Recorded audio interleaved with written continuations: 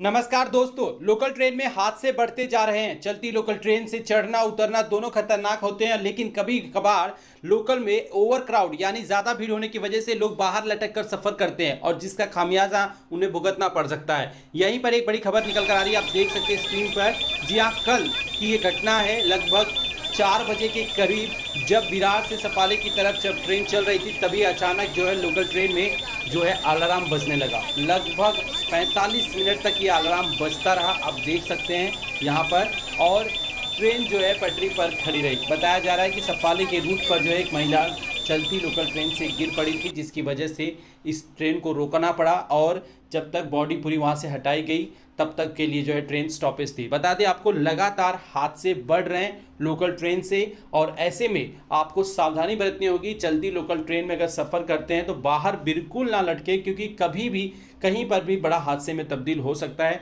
इसलिए सावधानी बरतें और लोकल ट्रेन के अंदर ही सफ़र करें। आज के लिए इतना ही। चैनल पर अगर आप नए हैं तो स्मार्ट न्यूज़ इंडिया को सब्सक्राइब करें। महाराष्ट्र और मुंबई की तमाम बड़ी खबरों को देखने के लिए हमारे साथ बने रहे और अपना प्यार और सपोर्ट ज़रूर दें। लाल वाले बटन को दबा के चैनल को सब्सक्राइब करें।